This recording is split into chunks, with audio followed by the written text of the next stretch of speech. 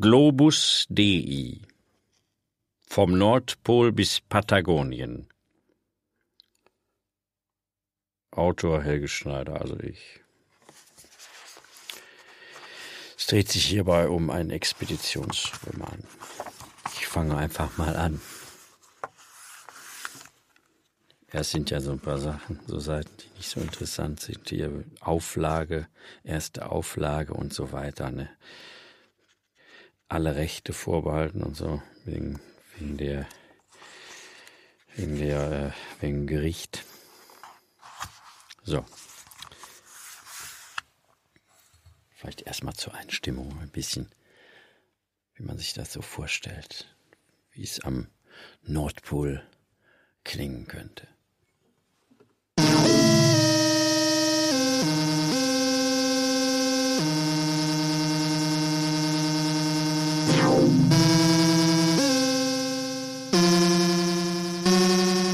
Am Pol.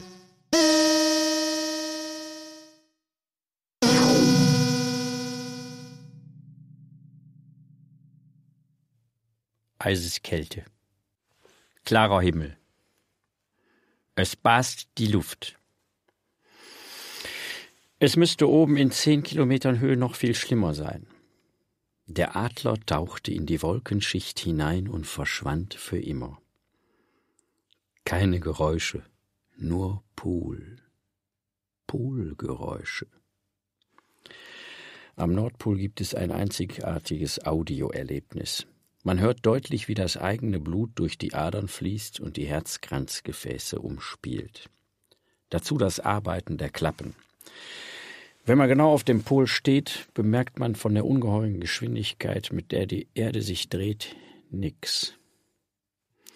Kein Zittern der Beine oder gar Wegdriften wie bei einem Kinderkarussell. Einfach nichts. Die Sinne sind wie eingeschlafen. Weiß, weiß, weiß, weiß. Wo das Auge hinblickt. Und das im Sommer. Ich war der Einzige, der es bis dahin geschafft hatte. Die zerrissenen Seidenfetzen des geplatzten Heißluftballons lagen verstreut auf der Eisplatte, die sich bis zum Horizont erstreckte. Der Korb, in dem ich vor ein paar Minuten noch gestanden hatte und verzweifelt der Flamme Luft zugefächert hatte, stand schräg neben mir, einen halben Meter tief im Eis versenkt. Jetzt war ich am Ausgangspunkt meiner Reise angekommen. Hier sollte meine Reise um den Globus beginnen. 18 Monate hatte ich daran gearbeitet, Tag und Nacht, um zielgenau auf dem Pol zu landen. Der Rechenschieber war abgenutzt, meine Vorstellungskraft hatte mir in den letzten Tagen vor dem Abflug immer und immer wieder vorgegaukelt, wie es denn hier aussieht. Ich bin eines Besseren belehrt. Hier sieht es auf keinen Fall so aus, wie man sich das als normaler Mensch vorstellt. Ich dachte nach. Scott hatte angeblich den Pol erreicht. Amundsen war verschollen. Nobile war ein Betrüger. Wer aber war ich? Jämmerlich kam ich mir vor, elend und einsam. Ich schaute mich um.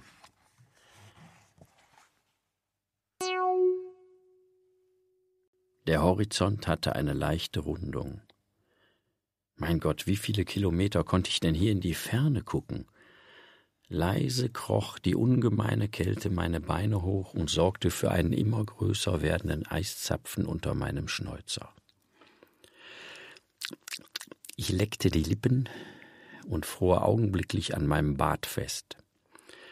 Schnell trank ich einen Schluck heißen Tee aus der kleinen Thermosflasche, die ich an der Seite meines Rucksacks baumeln hatte, nur um die Zunge wieder frei zu bekommen. Es wirkte. Das sollte mir nicht noch einmal passieren. Die Sonne stand schräg mitten im Himmel. Wenige Meter davon entfernt hatte sich der Mond ein Plätzchen gesucht. Hier waren Sonne und Mond anscheinend nicht viel voneinander entfernt. Fast rosafarbene, neblige, wolkenartige Wattebäusche, die sich im Wind verzogen, bildeten den Hintergrund für ein ungemeines Weiß. weiß, wie ein Meer aus Weiß. Schnee war dagegen grau anzusehen, das ewige Eis ist weißer als Schnee. Ich hatte bisher nur im Fernsehen solche weiße Pracht gesehen. Hier in der freien Natur war es ein viel größeres Erlebnis. Mein Bein war steif gefroren, es ragte einfach etwas zur Seite. Ich wollte ein paar Schritte gehen, doch der Fuß riss nicht von der Scholle. Scholle mit Kartoffeln und Salat schoss es mir durch den Kopf. Ich hatte Hunger. Ich will mir einen Braten schießen, dachte ich bei mir. Ich schielte nach meinem Gewehr, das noch in der Zusatzausrüstung lag, die sich im Korb befand. Ich zog meinen Fuß aus dem angefrorenen Stiefel und robbte so zum Korb. Der Fuß schmerzte vor Kälte. Ich warf mich in den Korb und holte das Gewehr zu mir heran. Es steckte in seiner dafür vorgesehenen Schatulle aus Leder. Elchleder ist sehr weich, aber trotzdem strapazierfähig. Aber weil es durch die Kälte knallhart gefroren war, zerplatzte die Schatulle in tausend Stücke, als ich das Gewehr herauszog. Ich konnte es nicht glauben, aber mein Thermometer, das ich an der Uhr mit dem Kompass befestigt hatte, zeigte minus 64 Grad an. Schnell, der Stiefel, ich musste es schaffen. Ohne meinen Stiefel ging jetzt alles seinen unabänderlichen Weg. Fuß friert ab, dann Bein, Eigenamputation mittels kleiner Heimwerker-Trennscheibe. Ein Glück, dass ich sie mit hatte und darauf folgendes völliges Abbinden des Stumpfes mit Tesakreppband, etwas anderes hatte ich dummerweise nicht mit. Diese Vorstellung verlieh mir Bärenkräfte, und ich schaffte es, meinen Stiefel von der Scholle zu trennen und ihn wieder anzuziehen. Genau eine Minute hatte das Ganze gedauert, aber diese Minute vergesse ich meinen Lebtag nicht. Mein Atem stieß unaufhaltsam gegen die klare Luft, kochend weiß. Ich hustete klar und zynisch das Treibgas aus meiner Lunge. Verdammter Seidenballon. Zwar hat er durchgehalten, aber nicht dicht. Immer wieder war Gas aus der Seide gesickert und setzte sich auf meinen Äolien fest. Ich hatte mich zum Glück nicht irgendeiner Gruppe von Expeditionären angeschlossen, wenn mich jetzt einer sehen würde. Dieses miese Husten, ich gab eine denkbar schlechte Figur für einen Abenteurer ab. Ich kam mir vor wie ein Kindergartenkind, das seine Erkältung vor den Erzieherinnen aushusten muss. Peinlich.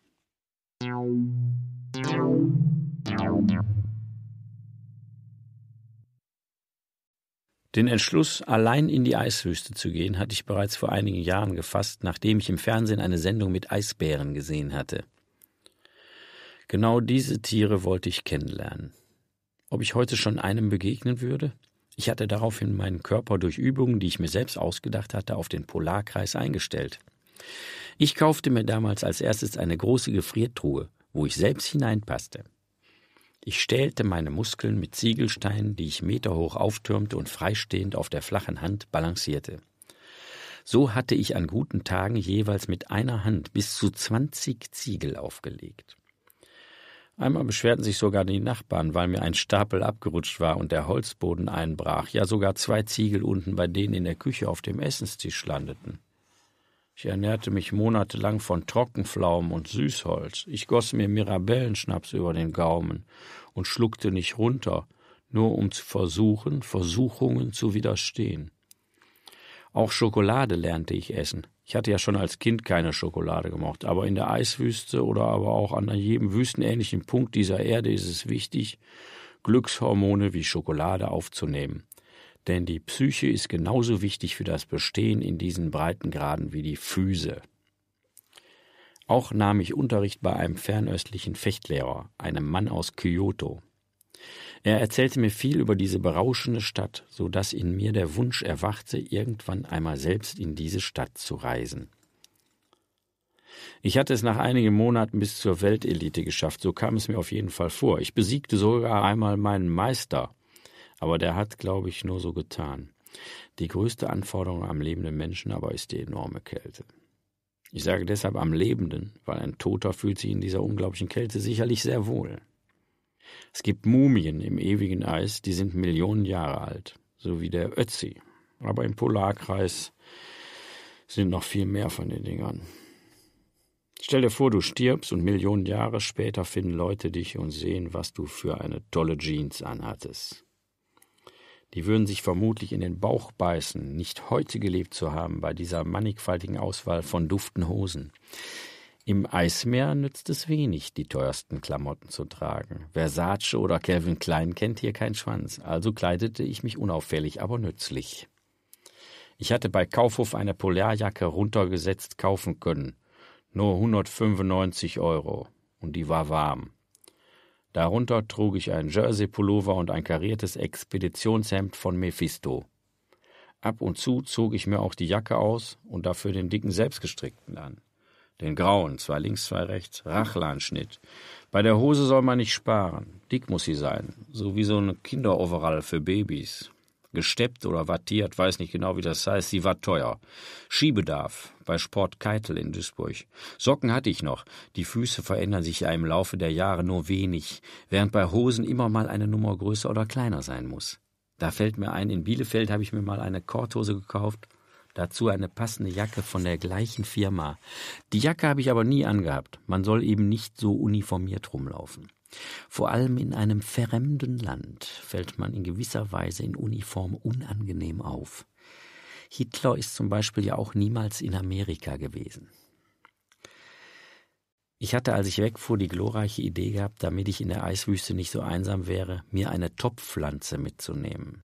Sie hatte ihren Platz im oberen Teil meines Rucksacks zusammen mit den Mickey Maus Heften, die ich leider, wie sich später herausstellte, alle schon durch hatte. Aber in der Wildnis vergisst man vollkommen zu lesen. Man ist dermaßen von der Natur überwältigt, dass man gar nicht an Bücher denkt. Höchstens an sein Scheckbuch, denn so eine Reise ist echt teuer. Ich kann jedem, der so eine Reise machen will, total davon abraten. Es geht über jedes Konto hinaus. Am schlimmsten sind die Souvenirs, die man überall kaufen kann. Aber hier, wo ich jetzt in diesem Moment gerade war, gab es noch nicht einmal einen Kiosk.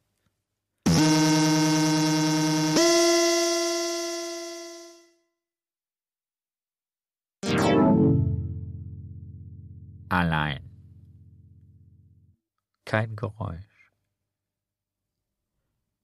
Wie gesagt, nur das eigene Blut.